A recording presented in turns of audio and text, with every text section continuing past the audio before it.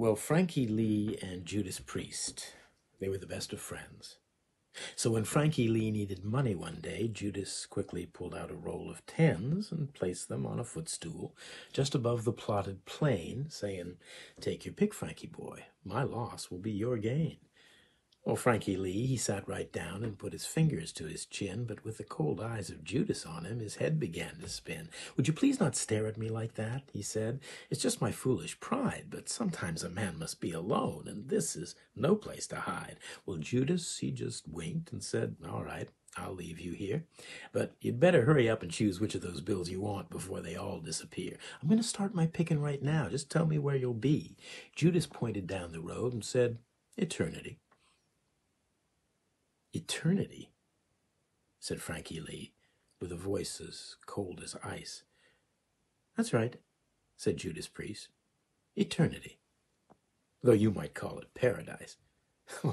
I don't call it anything, said Frankie Lee with a smile. All right, said Judas Priest. I'll see you after a while. Well, Frankie Lee he sat back down, feeling low and mean, when just then a passing stranger burst upon the scene, saying, Are you Frankie Lee the gambler, whose father is deceased?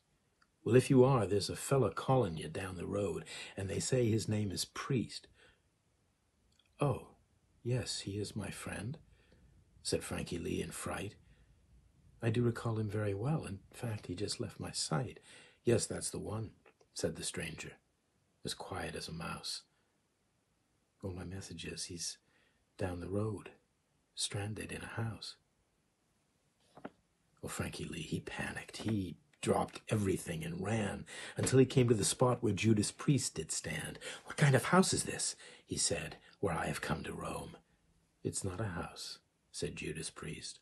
It's not a house. It's a home. Well, Frankie Lee, he trembled.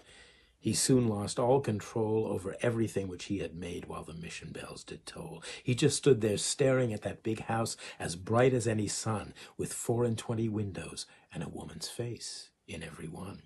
Well, up the stairs ran Frankie Lee with a soulful bounding leap, and foaming at the mouth, he began to make his midnight creep. For sixteen nights and days he raved, but on the seventeenth he burst into the arms of Judas Priest, which is where he died of thirst.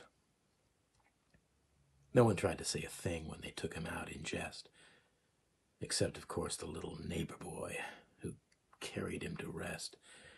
And he just walked along, alone, with his guilt so well concealed, and muttered underneath his breath, Nothing is revealed.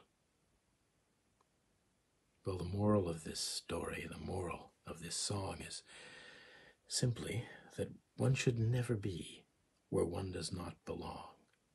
So when you see your neighbor carrying something, help him with his load.